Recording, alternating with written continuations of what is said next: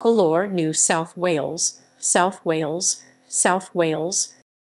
Galore is a rural community in the central east part of the Riverina. It is situated by road about 22 kilometres northwest of Collingullie and 28 kilometres southeast of Sandigo. At the 2016 census, Galore had a population of 95 people. Galore Post Office opened on 1 June 1933. Equals equals notes and references equals equals